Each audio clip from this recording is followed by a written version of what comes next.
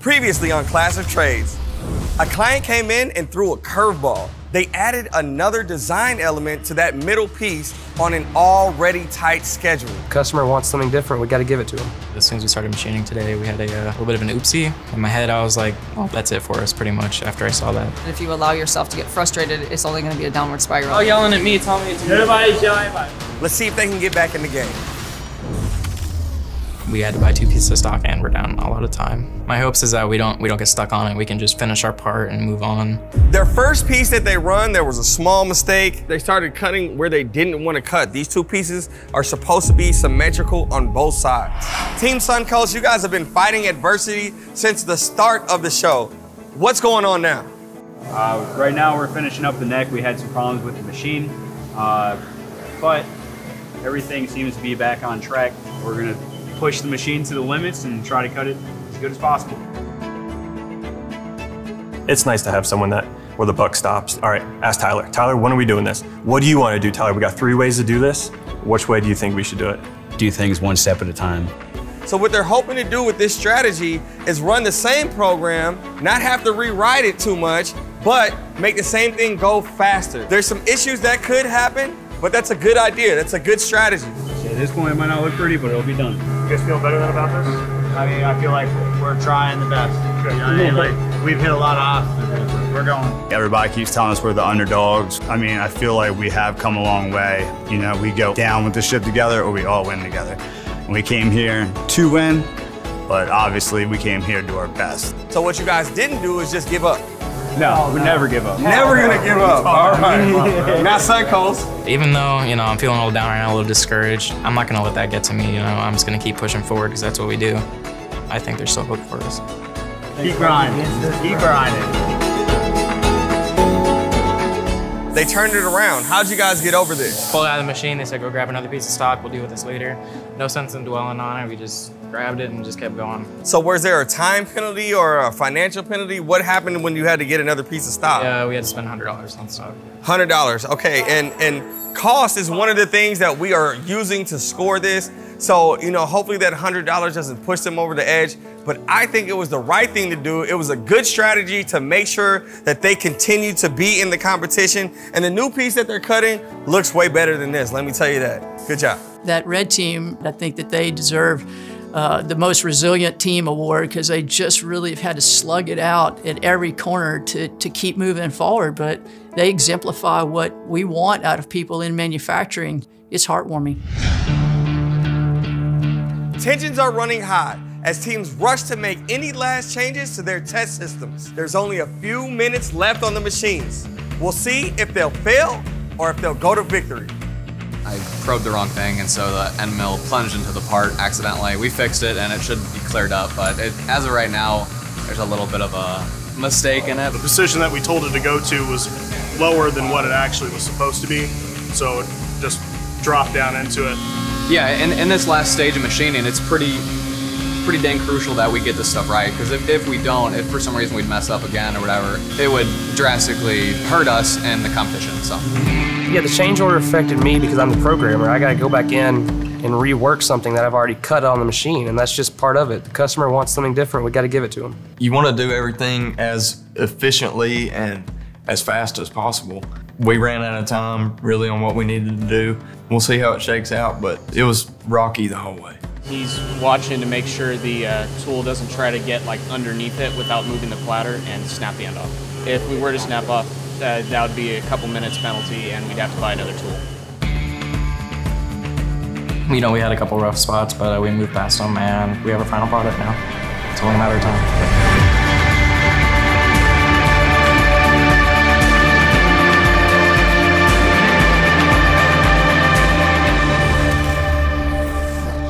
So the teams that finish making their parts, they're gonna load them up here on this Zeiss Duramax CMM, and we're gonna see how accurate those parts are.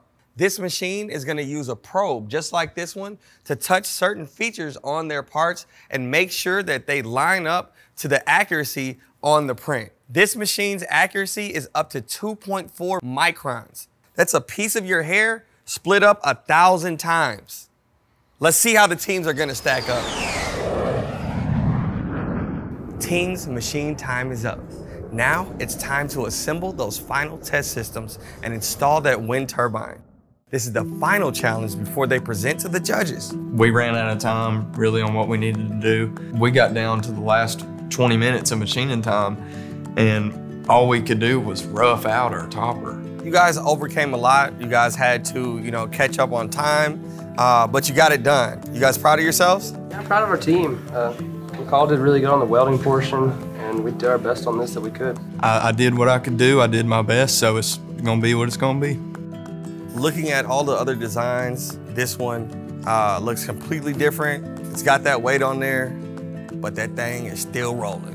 You know, so we'll see what happens, man. Good luck, gentlemen. I think that everybody will be kind of impressed that a non-known school is actually making waves in the industry. Tell me, are you guys uh, happy about the decision that you made to switch from an aerospace design to an agriculture design?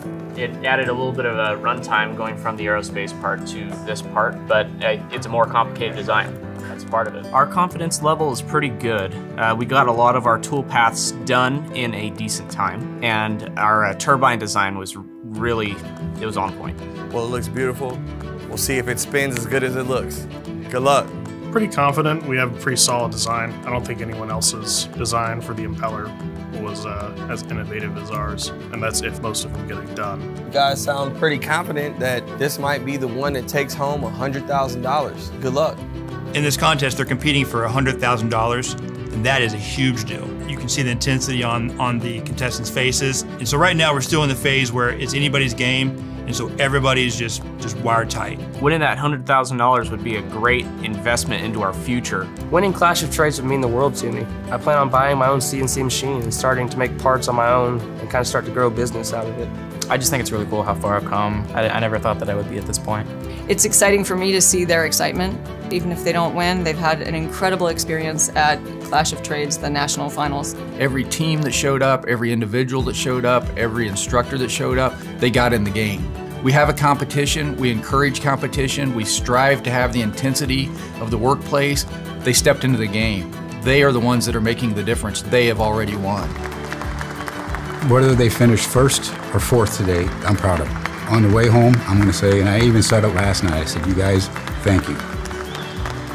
There's been some late nights, there's been heartache, there's been tension, but lots of laughs, met a lot of great folks. How many people get to do this? It's started out with 32 teams and only four are left. This is an amazing opportunity that they will never forget the rest of their life. Once in a lifetime. We are all winners that we stepped up to play. We're at a national finals for Project MFG, Clash of Trades. They're the only students in the nation that made it here. We've already won. We're already here. Congrats on making it to the end. This week, you are tasked with building a five piece aviation inspired test system. Teams are judged on their overall project strategy and construction, team performance, cost, and a full system spin test, which are happening now. Will the black team from Yuba College come present their assembly and start their final test?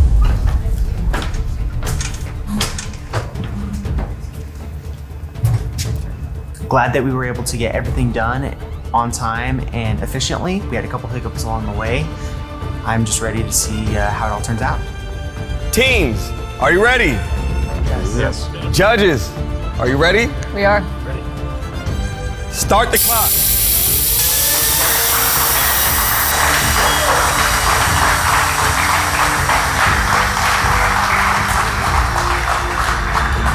Stop time looking around, um, I'm feeling confident in our abilities and everything. We just have to wait and see um, how they perform during the final test.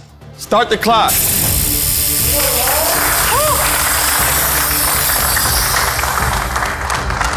Stop the clock. Your total time was two minutes and 18 seconds. Great job. We are really excited to show what we have at the national level. So you guys did a really great job on uh, the design and the assembly. Good job, fellas. Thank you. Thank you. It's exciting to see the culmination of a long week's work and uh, a lot of thought and skill applied. So, good job. Our design is aesthetically pleasing. Our design is efficient. It works really well, and I'm really confident. Um, we just got to see what the other teams are able to do. I think the real world is not always as black and white as you'd like. The competition isn't just the fanciest design, it's a number of different criteria, including time and cost.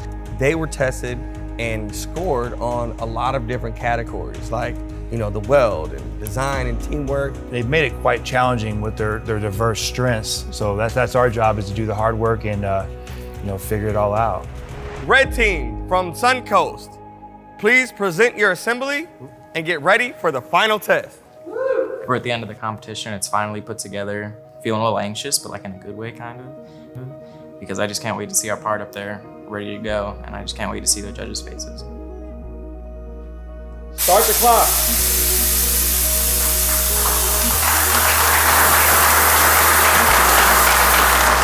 That looks smooth. So they're testing our part. I'm feeling really good about it. Uh, it's spinning the way we thought it would, maybe even a little better.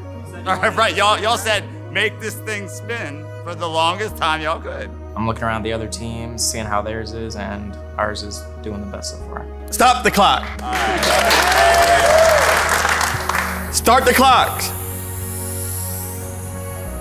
Stop. So there was an air seal that was not all the way sealed. So this low pressure test uh, did not spin the wheel. We don't have any time on it. It's very important to have a strong weld as well as a leak-proof weld. You need that reservoir full such that all of the air goes through the mechanism and doesn't leak out the sides of the tank. Suncoast Tech, your total spinning time is seven minutes and 33 seconds. Wow, that was uh, that was incredible. Seven minutes and 33 seconds. The second spin, that, that's okay. Brush that off because uh, so far that you've got the longest running time. Congratulations for overcoming all of the obstacles that you have faced, both on the machining side and on the welding side. Thank you. Thank you. Calhoun Warhawks, the gray team, please step forward, grab your assembly, and get ready for your final test. I'm feeling a little discouraged because, I, like I said, our, we could only get our topper roughed out, and uh, it's too heavy, so it won't spin. Warhawks, are you ready? Ready. Judges, let's get it. Start the clock. All right. Okay, let's go. Yes, sir. It's fun. Start the clock. Stop the clock. Calhoun Warhawks, your total spin time is 19.5 seconds. You can feel how much you want to, to win, and I know it must be so disappointing right now. But you have a bright future ahead of you, and uh, I know you'll do well. So, you know, keep persevering and, and keep moving on. Thank you. It's a very humbling loss, um, but you need that to be better. So it's a blessing in disguise. Blue team from SWIC, it's time to grab your assembly and prepare for the final test. We've been looking around and, uh, you know, we, we don't sweat it at all. We're still, we're feeling pretty good. We're pretty confident about what we're doing. Are you ready? Yes. Oh, yeah. Judges, are we ready? Yes. Here we go. Start the clock. I, I don't want to set my expectations too high. I don't want to expect that we're going to win. I don't want to expect that we're going to lose.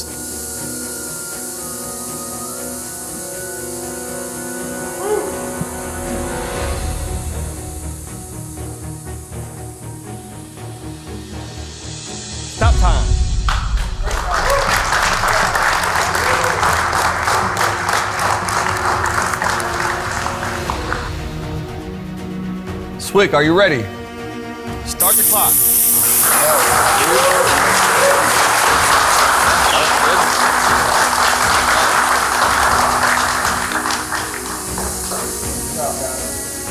Stop the clock. Swick. You guys have a total spin time of 5 minutes and 13 seconds. Yeah, I- I'm just super excited. It, what we got everything done and it went really well. Good job. Very, very sketchy at the beginning as far as the uh, the two-piece design and how thin it was going to be, and and all the questions that you had. And I think you really pulled it out. You went through this contest with much confidence and proved that it would work and uh, had a great spin time, so congrats. Teams, the work is done. Now it's time for us judges to deliberate, tally up these scores, and see who's gonna be the winner. We got a tough decision to make. We really do. And I'm just going to say, I cannot believe Suncoast pulled that out. Oh man, seven minutes? Even though Suncoast had, uh, you know, the longest spin time, that's not the only thing that is gonna win them this contest if it happens that way. What do you guys think? Calhoun came in with three people. You know, that's definitely going to uh, help their labor costs, so that has to be taken into account. Some teams did better well in their welding performance than others. If you had to purchase new material, that significantly adds to your cost.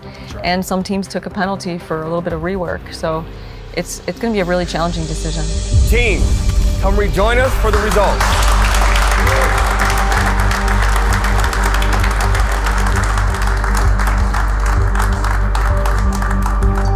What a week. You guys really stepped it up and showcased your skills in a real world advanced manufacturing competition. You've beaten out the competition to even make it this far. You guys are the best of the best in the nation. Everyone's fought hard, but unfortunately, there can only be one winner of the $100,000 grand prize 50K for your trade school and 50K for your team. And of course, the title of 2022 Clash of Trades National Champions. The winner of the 2022 Clash of Trades tournament and the $100,000 grand prize. Swick Southwestern Illinois College.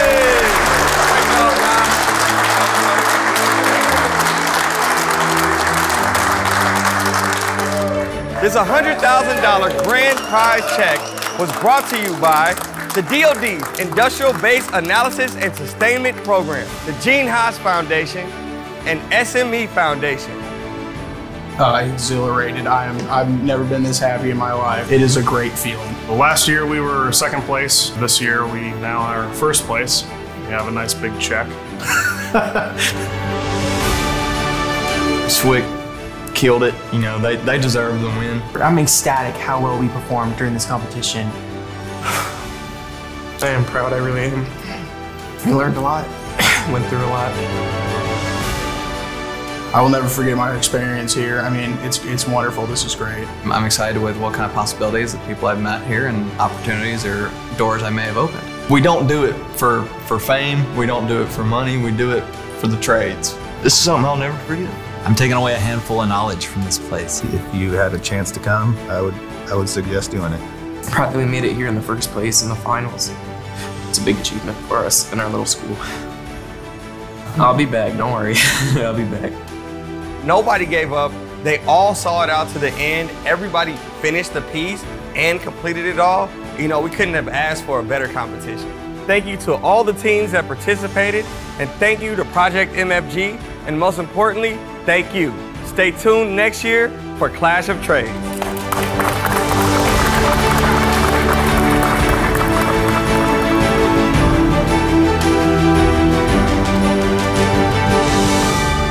Follow, like, and subscribe. Project MFG on all the socials.